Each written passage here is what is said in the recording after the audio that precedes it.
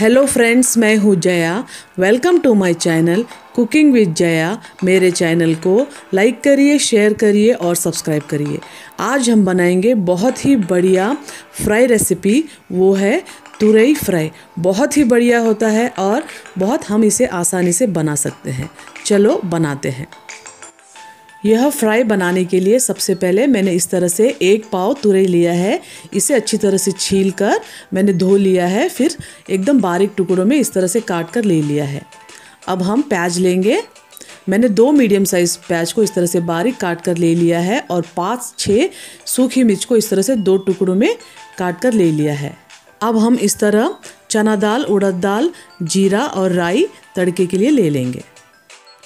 अब हम gas on कर इस तरह से एक पैन ले लेंगे और जब वो हल्का गर्म हो जाए, दो टेबल स्पून उसमें तेल डालिए और जब वो गर्म हो जाए फ्लेम को एकदम धीमी पर रखिए। अब हम इसे एक बार तड़का लगा लेंगे। देखिए, जब गर्म हो जाए, एक चम्मच उड़द दाल, एक चम्मच चना दाल और छोटे चम्मच से राई और थोड़ा सा जीरा। इस तरह से आप सब डालकर इसे एकदम धीमी आँच पर आप हल्का कलर चेंज होए तक इसे फ्राई कर लीजिए। ये सब करते समय आप आँच को एकदम धीमी पर रखिए। देखिए, बिल्कुल इस तरह से हमें लाइट गोल्डन कलर फ्राई कर लेना चाहिए। अब हम इसमें सूखी लाल मिर्च डाल देंगे। देखिए, इस तरह से मैंने दो टुकड़े में सूखी मिर्च को काट कर डाल दिया है। बस एक आधे मिनट तक आप इसे फ्राई कर लीजिए। ये सब हमें एकदम सिंपल करना चाहिए। सूखी लाल मिर्च बिल्कुल जलना नहीं चाहिए, नहीं तो टेस्ट पूरा बिगड़ जाएगा। अब हम इसमें कटे हुए प्याज डाल देंगे और इसे मीडियम फ्लेम पर लाइट ब्राउन कलर हुए तक इसे फ्राई कर लेंगे। आप चाहे तो इसमें थोड़ा प्याज ज़्यादा भी डाल सकते हैं। बहुत बढ़िया रहेगा।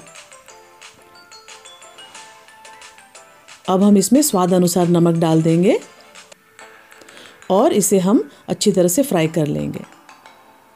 सूखी लाल मिर्च से बहुत ही बढ़िया टेस्ट आता है। एक बार इसे आप ज़रूर बनाइए, आपको बहुत पसंद आएगा। प्याज थोड़ा सा फ्राई हो गया है। अब हम इसमें थोड़ा सा करी पत्ता डाल देंगे और एक छोटे चम्मच से थोड़ा सा हल्दी डाल देंगे। इस तरह से आप डालकर एक बार इसे मिला लीजिए और प्याज को अच्छी तरह से फ्राई कर लीजिए। देखिए, प्याज हमारे अच्छे से फ्राई हो गए हैं। मुझे करेक्ट तीन मिनट लगे हैं इसे फ्राई करने में। बिल्कुल हमें इस तरह से चाहिए। ये सब मैंने मीडियम फ्लेम पर किया है। अब हम आँच को एकदम धीमी रख देंगे और छोटी चम्मच से अदरक लहसुन का पेस्ट डाल देंगे और इसे एक दो मिनट तक हम इसे फ्राई कर लेंगे। इसका कच्चापन पूरी तरह से जाना चाहिए। देखिए, अदरक लहसुन भी अच्छी तरह से फ्राई हो गया है। बिल्कुल हमें इस तरह से चाहिए। अब हम इसमें कटे हुए तुरई डाल देंगे। देखिए, इस तरह से हमने जो काट कर ले लिया है, वो हम इसमें डाल देंगे और इसे आप अच्छी तरह से मिला लीजिए। अब हम इसे ढककर सिम पर ही एक पाँच मिनट तक पकने देंगे। तुरई हेल्थ के लिए बहुत अच्छा होता है। इसमें बहुत सारा वाटर कंटेंट होता है और ये रिच इन फाइबर होता है। बारिश के मौसम में तुरई आसानी से हर जगह मिल जाता है। इस तरह से आप हफ़्ते में कम से कम एक बार यह सब्ज़ी ज़रूर बनाइए। अब हम इसे ढककर पाँच मिनट तक सिम पर पकने देंगे। अब हम इसे एक बार खोल कर देख लेते हैं। देखिए, तुरई सॉफ्ट हो गया है और इसमें से पानी भी निकल गया है। सब्ज़ी हमारी आधी पक गई है। अब हम इसमें मिर्ची पाउडर डाल देंगे। देखिए, इस तरह से मैंने सिर्फ़ आधा चम्मच मिर्ची पाउडर ले लिया है। आप चाहे तो इसे स्किप भी कर सकते हैं, क्योंकि हमने बहुत सारा सूखी लाल मिर्च डाला है।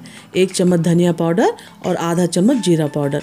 इस तरह से आप डालकर एक बार इसे अच्छी तरह से मिला लीजिए और फिर से ढक्कन लगाकर सिम पर आप एक पाँच मिनट तक इसे पका लीजिए।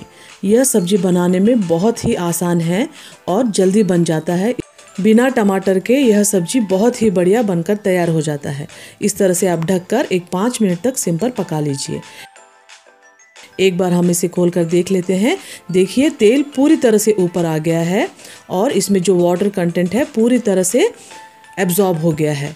इसका मतलब हमारी सब्ज़ी बनकर तैयार है। अब हम गैस को ऑफ़ कर देंगे और इसमें थोड़ा हरा धनिया डालकर मैं आपको सर्विंग बॉल में सर्व कर कर दिखाऊँगी। देखिए, बहुत ही टेस्टी हमारी तुरई की सब्ज़ी बनकर तैयार है। इस तरह से आप तुरई फ्राई बिना पानी के बनाइए, बहुत ही बढ़िया लगेगा। आप इसे चावल के साथ, रोटी के साथ, फुलके के साथ ले सकते हैं। आप इसे लंच बॉक्स में भी ले जा सकते हैं। देखिए, इस तरह से मैं आपको गरम गरम चावल में सब्ज़ी के साथ सर्व कर कर बताऊँगी। देखिए, इस तरह से अगर हम एक सब्ज़ी से ही पूरा चावल हम खा सकते हैं। इस तरह से आप बनाइए और मेरे चैनल को लाइक करिए, शेयर करिए और सब्सक्राइब करिए। और बेल आइकन को क्लिक करिए। आपको सब नोटिफिकेशंस अपडेट्स होते रहेंगे। धन्यवाद।